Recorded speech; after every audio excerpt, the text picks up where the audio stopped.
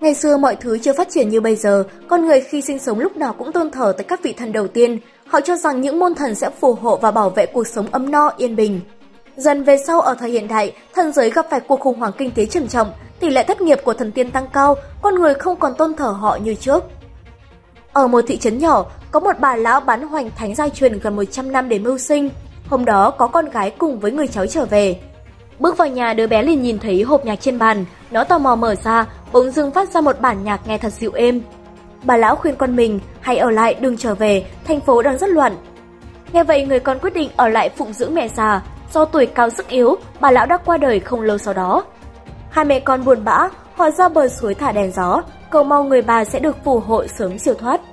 Cô bé Vũ Nhi đã cởi chiếc hộp nhạc cùng với đèn khổng minh rồi thả lên trời cho bà ngoại. Người trong thị trấn cũng đồng loạt thả. Bầu trời đêm đó sáng rực tuyệt đẹp, những chiếc đèn lồng bay lên càng cao, xuyên qua nhiều tầng mây. Và cuối cùng bay tới núi độ sóc, chúng bám lại bởi những tán cây. Ở đây có anh em vị thần canh cửa là thần đồ và Úc Luật. Cả hai là một trong những vị thần nổi tiếng nhất nhì, được đài truyền hình thiên cung bầu chọn là nhân vật được yêu thích nhất của thần giới, thậm chí còn có cả lượng fan hâm mộ hùng hậu. Trong lúc đang nhớ lại khoảng thời gian huy hoàng thì Úc Luật gọi thần độ làm gã tỉnh mộng. Cậu khoe với đại ca mình, con người thả đèn khổng minh bay lên, anh nghĩ họ chỉ thả cho vui thôi. Cùng lúc tiếng nhạc phát ra từ chiếc hộp gỗ làm hai anh em ngạc nhiên. Người em thấy vậy muốn mang nó xuống nhưng bị ngăn lại, cho rằng đó là âm thanh của nhân gian, nếu qua lại sẽ có một tai họa ập tới. Bọn họ xảy ra tranh cãi, thần thổ địa nghe được nên khuyên ngăn. Thấy một chiếc lá từ trên cây rơi xuống, ông nhặt lên và kẹp nó vào trong túi mình. Úc Luật chán ghét công việc đang làm, nó không mang một ý nghĩa gì cả nên bực tức. Anh trai thấy vậy khuyên nhủ rồi cãi vã đánh nhau, thổ địa chứng kiến được cũng lắc đầu ngán ngẩm. Đột nhiên từ xa xa, một chiếc xe có thể bay được tiến về núi Độ Sóc, là dạ vua thần chuyên đi tuần đêm, chở theo các tiểu đồ đệ của mình. Ông tới chuyển phát nhanh phong thư, đọc một hơi công văn số tới phần nội dung. Mỗi tối, ông ta sẽ tới kiểm tra điểm danh. Dựa trên số tranh dán ở nhân gian, nếu số lượng tranh là không, họ sẽ bị cắt chức môn thần. Và nội dung cuối cùng trong công văn yêu cầu tất cả thần giới tham gia buổi huấn luyện đào tạo, rồi bọn họ cùng leo lên một chiếc xe cà tàng của dạ vua thần tới thiên cung. Sau một chặng đường dài, họ cuối cùng cũng tới nơi huấn luyện. Hai anh em nhanh chóng đi tìm chỗ ngồi, rồi ông em MC xuất hiện giới thiệu về lớp học. Sau đó còn bắt mọi người nêu khẩu hiệu, giống như mấy cái lớp học đa cấp. Học cách sự thay đổi, đón nhận sự thay đổi. Thậm chí còn đưa thêm dẫn chứng một vị thần đã thay đổi, hội nhập với thời hiện đại thành công là thần tài. Ông ta rất nguy nga, được bệ bằng một chiếc kiệu có hình dáng thỏi vàng trên sân khấu, Mang tiếng là truyền mình thành công ở thời hiện đại nên ăn mặc rất là sành điệu dân chơi, trên tay lấp lánh trang sức bằng vàng. Ông truyền đạt kinh nghiệm của mình thay đổi gắn bó với nhân loại rồi dạy mọi người dạy nhảy aerobic. Theo đó, lớp học huấn luyện thành lớp dạy nhảy của ông ta, mọi người ai cũng hào hứng nhưng riêng Úc Luật thì ngược lại. Anh thấy nó rất nhảm nhí và kiếm một góc tường gần đó tựa vào. Cuối buổi học, tên MC đánh giá biểu hiện của các học viên, sau đó quyết định sa thải thổ địa ngay trước mặt mọi người bởi biểu hiện của ông ta trong suốt buổi học không nhiệt tình thu hồi luôn cả bộ quần áo đang mặc trên người. Lúc ra về, thổ địa vừa đi vừa thở dài mệt mỏi, công sức bao nhiêu năm ông thành thần giới, mong muốn tới lúc trường sinh, bây giờ đã đổ sông đổ bể. Hai anh em đi theo sau an ủi, thổ địa đưa tay vào bức tượng, lớp sơn bong ra, đằng sau nó là một câu chuyện đã bị lãng quên. Rồi ông hòa phép hiện lên những bức vẽ, năm xưa nhân gian xuất hiện quái thú thượng cổ là niên. Mỗi lần xuất hiện đều trời long đất lở, khiến thần giới và nhân gian đại loạn. Thái thượng lão quân đã thêm ba đạo phong ấn phòng bế nó lại, thiên hạ thái bình cũng là lúc con người cũng quên đi lợi ích mà thần giới mang lại. Ngay vậy nên Úc Luật đưa ra ý kiến hay là thản nhiên ra để nhân gian bạo loạn, lúc này họ sẽ cần tới thần giới cứu giúp. Nói rồi hỏi thổ địa về ba đạo phong ấn đó nằm ở đâu. Ông nói những phong ấn đó đều nằm gần một thị trấn nhỏ, rồi đưa cho một chiếc lá đã nhặt trước đó, nó sẽ dẫn đường tìm thấy chúng. Ở chân thế, hai mẹ con Tiểu Anh bắt đầu mở cửa hàng thì có hai ông cháu bước vào, đứa trẻ chê món hoành thánh nhạt nhẽo nên đòi ăn món khác. Nghe được những lời đó, ánh mắt hai mẹ con thoáng đượm buồn. Gần đó xuất hiện một cửa hàng cũng bán thức ăn nhưng nhìn có vẻ hiện đại hơn bên này. Ông chủ ở đây là một tên đầu hói bụng phệ, nhìn kiểu người gian ma dối trá. Thấy bóng dáng của hai ông cháu, hắn ta bắt đầu chiêu dụ bằng những món đồ chơi khiến cho đứa trẻ con thích thú, buộc lòng phải đi vào cửa hàng của gã. Sau đó một chiếc xe bán tải lớn vào thị trấn đậu ngay trước cửa hàng của Tiểu Anh. Thấy vậy cô ra nói chuyện, mong chiếc xe rời đi chỗ khác. Chủ xe là hai tên bợm trợn, nhìn hơi nửa mùa, bọn hắn tới gây sự. Thấy chuyện bất bình nên ông chủ bụng về hàng xóm ra tay tường trợ, làm cho mấy gã kia chạy mất dép. Tên đó buông lời dụ dỗ cô hãy bỏ cửa hàng về làm với ông ta, nhưng mặt Tiểu Anh từ chối ngay. Vũ Nhi thấy vậy làm Tô Hoành Thánh siêu cay mời hắn dùng, gã ta cay sặc sụa rồi chạy về nhà. Về tới nơi, hai tên chạy xe gây sự lúc nãy xuất hiện trong phòng hắn. Hóa ra là ông ta thuê bọn họ làm việc đó để có dịp làm anh hùng ra tay nghĩa hiệp, nhưng kế hoạch cô gái lần này thất bại trầm trọng. Thôi đó sau khi phụ mẹ bán hàng xong, đứa trẻ ra phía trước ngồi nhìn đám trẻ trong thị trấn chơi đùa vui vẻ. Điều này làm cho đứa trẻ mong muốn được chơi cùng. Vậy nhưng đám nhóc đã cô lập con bé bởi nó từ thành phố tới. Sau đó, nó tìm tới người mẹ, nói rằng muốn được quay về thành phố, con bé không thích nơi này. Ba mẹ không đồng ý, họ phải ở lại nối nghiệp bán hoành thánh mà tổ tiên đã để lại. Thế vậy con bé tức giận hơn và chạy đi ra ngoài một mình giữa đêm khuya. Cùng lúc đó, Úc Luật đang cầm chiếc lá trên tay mân mê nó, nói ca ca cùng tới nhân gian để tìm Niên, nhưng thần độ khuyên lại, khuyên đừng tin, vì đó là câu chuyện của dân gian thôi. Hãy tin vào Ngọc Hoàng Đại Đế sẽ không đuổi việc hai người. Dạ vô thần cũng tìm tới điểm danh kiểm tra, chuyển phát nhanh cho một phong bì. Người em cầm nó ngắn ngẩm đưa cho người anh, nội dung bên trong là mối đe dọa, họ sẽ bị mất việc trong tương lai.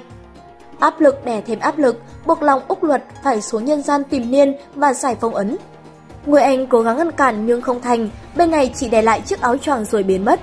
Tiểu sinh buồn bã ra bên bờ suối ngồi, nhìn thấy chú ếch sắp bị ăn thịt bởi con chó hoang nên con bé chạy tới cứu nó. Điều này làm cho con chó điên lên, rượt đuổi theo và không những mình nó mà còn có cả đồng bọn. Thấy được sự nguy hiểm, con bé tháo chạy, Úc Luật đi tới cứu rồi dùng chiếc vòng năng lực khống chế những con chó còn lại làm cho cả đám chạy toán loạn. Cảm kích trước hành động này, cô bé tới làm quen và cũng lần đầu tiên thần giới tiếp xúc với con người. Úc Luật rất vui nên tặng chiếc phòng của mình cho Vũ Nhi rồi rời đi. Dùng chiếc lá chỉ đường tới nơi phong ấn đầu tiên, Úc Luật gặp cựu linh thần được phái cai quản nơi này. Anh nói rằng mình cần phá phong ấn cho nên xuất hiện, vì đây là cửa ải mà hắn cai quản nên phải vượt qua hắn trước đã. Thoạt nghe thì có vẻ oai phong hoành tráng, nhưng bên này còn chưa kịp xuất chiêu thì hắn đã chạy mất dép. Cùng lúc này, Vũ Nhi ở nhà đang ngủ thì tỉnh giấc bởi chiếc vòng phát sáng. Nó kéo con bé vào một rừng sâu, tới nơi Úc Luật đang giải phong ấn. Sau khi đuổi được tên thần giới vô dụng kia, anh dùng thanh kiếm của mình chém một nhát thành đường thẳng xuống dòng suối. Bên trong là một con cá khổng lồ đang thở ngòi ngóp vì bị giam cầm. Nhảy xuống, phá vỡ phong bệ đi, con cá phóng lên trên trời cao, cảnh vật lúc này đảo loạn, chìm chóc bay lên tìm nơi trú ngụ, sóng thì đập mạnh. Cơ thể Úc Luật đột nhiên đau đớn hét lên. Vũ Nhi cũng tới ngay sau đó, cô bé cố gọi anh nhưng anh lại như không nghe thấy và bước đi. Sáng hôm sau, người mẹ phát hiện không có nước sinh hoạt, nghi ngờ bị cắt vì không đóng tiền nước, nên người mẹ bèn hỏi, nó khăng khăng nói đã đóng rồi. Đánh hơi được nên ông chủ bụng vệ xuất hiện, ngụ ý giúp đỡ, nhưng cô từ chối, hắn tiếp tục cho hay nước ở suối cũng cạn rồi, tất cả xảy ra chỉ trong một đêm. Cô quyết định sẽ không buôn bán, hắn vẫn muốn giúp đỡ nên cô cũng nhận lời. Gã ta về bơm nước, đồng thời có cho vào bể nước một loại thuốc tiêu chảy rồi mang nước qua cho cô. Chính vì vậy mà khiến cho những vị khách hôm đó ăn hoành thánh đều bị ngộ độc, sở vệ sinh cũng tìm tới và đình chỉ cơ sở kinh doanh của cô. Tên bụng vệ vui mừng vì đã phá hoại thành công. Cựu linh thần tới thông báo cho thần đồ biết được việc em mình đã phá phong ấn. Thấy được tình hình nên buộc ông phải tới nhân gian một chuyến để ngăn em mình lại. Thần đồ bước vào bức tranh, ông như bị mất phương hướng, lý do bởi vì hai bên có quá nhiều cánh cửa. Thấy cánh cửa có dán hình bản thân mình nên liền bước vào đó. Thì ra ông ta vào ngay nhà của Vũ Nhi, vừa lúc chui ra từ cái bếp thì bị cô bé phát hiện. Lúc này cô chưa biết ông là ai nên cứ nghĩ là khách nên không nghi ngờ. Mà không biết sao ngày hôm đó cũng là ngày Halloween, thấy ông ăn mặc như vậy nghĩ rằng đang hóa trang, cô bé xin mẹ dẫn đi chơi lễ hội. Đến nơi, họ cùng nhau uống rượu nhảy múa và giành được giải nhất cuộc thi nhảy do lễ hội tổ chức. Tham dự tiệc xong, ông đưa họ trở về và bất ngờ nhìn thấy được chiếc vòng của Úc Luật được cài trên tóc của con bé, nhưng do hơi vội nên phải trở về nhà điểm danh với giả vô thần. Người mẹ nhận được cuộc điện thoại thông báo sẽ bị cắt điện vì không có tiền đóng học phí. Nghe xong Tiểu Xuân ngồi khụy xuống bật khóc, người con gái cầm chiếc đèn lồng tới an ủi. Nhân cơ hội giả vô thần không tới điểm danh, thần độ dự định xuống trần gian tìm con bé, đồng thời tới nơi xin phép thảo lệnh cấm vệ sinh cho quán người mẹ. Cô bé vui mừng quay về thông báo, rồi cùng nhau tất bật dọn vệ sinh sạch sẽ để chào đón đoàn kiểm tra lần nữa. Người mẹ kêu thần độ hãy thay quần áo vì ông đã mặc bộ đồ đó mấy ngày liền. Cô bé đang lau dọn cửa thì ngạc nhiên, nó nhận ra bộ quần áo của vị thần dán ở cửa chung với bộ quần áo ông đang mặc. Mặc dù thân phận bị bài lộ nhưng con bé không nói ra, Hôm đó vị thanh tra tới, mọi thứ đều đạt, nhưng tới phút cuối có một con rán ở trên nón gã. Chỉ mỗi thần độ nhìn thấy, ông tìm cách bắt nó nhưng không được càng không thể nói với Vũ Nhi nên chỉ ra hiệu. Cuối cùng, ông cũng thốt lên được tiếng nói, làm con rắn hoảng sợ chạy ra ngoài. Tuy nhiên điều kỳ lạ hơn là rất nhiều con rắn bỗng nhiên xuất hiện quanh đó. Lần theo manh mối tìm tới, hóa ra là nhà kho của tên ông chủ bụng phệ. Lần này, gậy ông đập lưng ông, tiệm của hắn ta bị đóng cửa vĩnh viễn. Quán của hai mẹ con hoạt động trở lại và càng đông khách hơn. Sau ngày làm việc, cô bé nói với thần độ rằng bản thân mình đã biết thân phận thật sự của hai người họ.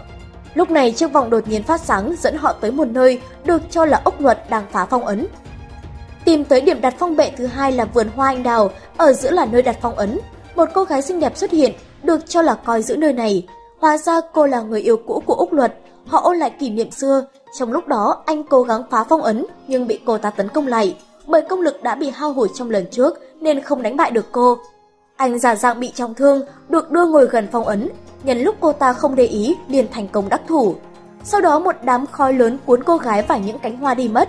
Nhân gian lúc này xuất hiện nhiều loại côn trùng bày khắp thị trấn. Úc luật càng lúc càng bị lão hóa, nội lực cũng ngày càng suy kiệt. Vũ Nhi cùng với thần độ tới ngăn cản nhưng không kịp, họ khuyên anh đừng tiếp tục nữa, bởi lần trước đã gây ra tai họa cho bà tánh như thế nào. Nhưng anh một mực không nghe, quyết lên đường tìm phá phong ấn còn lại. Cô bé buồn bã mang những cánh hoa mơ về nhà, Tối hôm đó thần độ cũng cướp lấy chiếc vòng của cô, chỉ nó mới có thể dẫn ông tới nơi của người em mình. Sáng hôm sau cô bé vẫn một nét mặt buồn bã cùng mẹ bán hàng. Trong lúc bê hoành thánh cho khách, vô tình những cánh hoa mơ rơi vào. Vị khách là hai ông cháu, sợ bị phản hồi không tốt như lần trước, làm hai mẹ con vô cùng lo lắng. Vậy nhưng không, lần này thì ngược lại, người cháu hay chê hoành thánh hôm nay lại tấm tắc khen ngợi, nhiều người ăn cùng lúc cũng khen theo, làm cho hai mẹ con ngỡ ngàng và biết công dụng của cánh hoa sẽ làm món ăn ngon hơn nhưng họ làm sao có thể tìm được loài hoa đó khi các cây hoa trong thị trấn trong vùng đã chết héo tàn, sau đó họ đành phải tìm công thức nấu mới. Rồi ngày càng có nhiều thực khách tới ăn, quán xá lúc nào cũng nhộn nhịp, mà quán của ông bụng phệ bên kia ế ẩm chả ai thèm ngó ngàng. Lúc đó Úc Luật tìm tới nơi phong ấn cuối cùng là một ngôi đền thờ của cậu và anh trai. Đột nhiên bóng sáng thấp thoáng của một người đàn ông xuất hiện, thì ra ông lão múa rối ở đầu phim. Cùng diễn biến, tên bụng phệ lèn vào ăn cắp công thức thì bị Vũ Nhi phát hiện, Do còn nhỏ nên không thể đánh lại, cô bé bị hắn bắt trói lại trên ghế và uy hiếp khai ra công thức. Ở núi Đô Sóc, thần đồ thấy chiếc vòng đang phát sáng nên chuẩn bị xuống nhân gian. Vậy nhưng cùng lúc đó lại bị giả vua thần phát hiện về việc điểm danh dùng úc luật bấy lâu nay.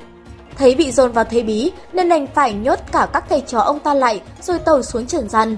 Tuy nhiên sau khi bước vào thì phát hiện có nhiều cánh cửa dán hình mình. Lần này thì không nhớ được cánh cửa nữa.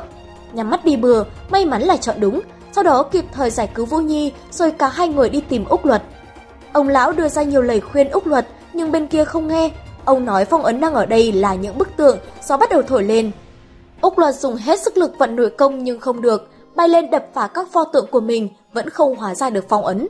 Lúc này anh nhìn thấy pho tượng của mình và thần đồ, anh chém vào nó, thần đồ tới kịp lúc ngăn lại, van xin cậu ta đừng giải trừ phong ấn nữa, bởi chúng sinh đã chịu khổ vì cậu quá nhiều.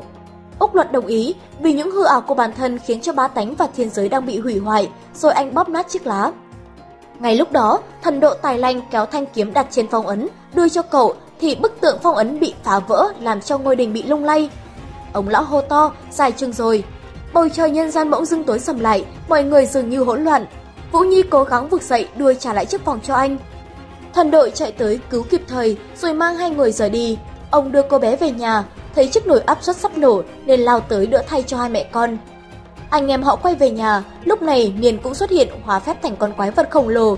Ở trần gian lại xuất hiện con quái vật khói, nó tiến vào nhà của Vũ Nhi, hai mẹ con tìm nơi ẩn náu, con quái vật càng lúc tiến lại gần.